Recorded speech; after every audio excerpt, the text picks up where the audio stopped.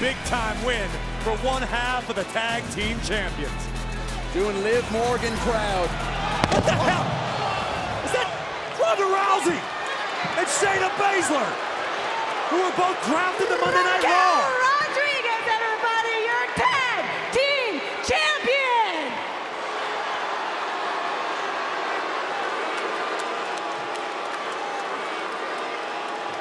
Hey, champ, got a question for you.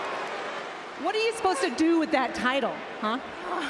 You're wait. It's rhetorical, okay? Defend it. We are done waiting. And you're going to defend it with or without labor. You're going to catch the same exact beating every single week until you do.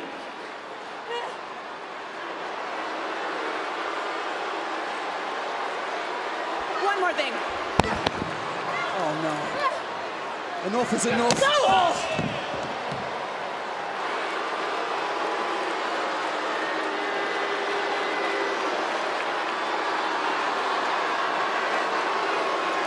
Vicious and unforgiving statement made by the baddest woman on the planet, Ronda Rousey, and Shayna Baszler.